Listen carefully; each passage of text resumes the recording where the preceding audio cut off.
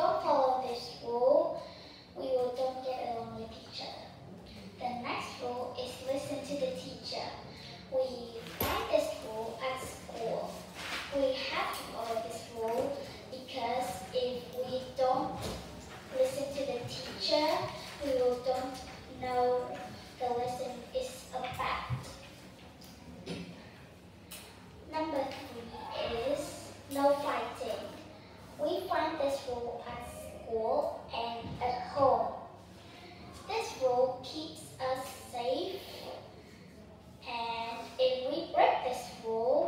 we will fight and we will hate each other. Rule number four is to homework on time.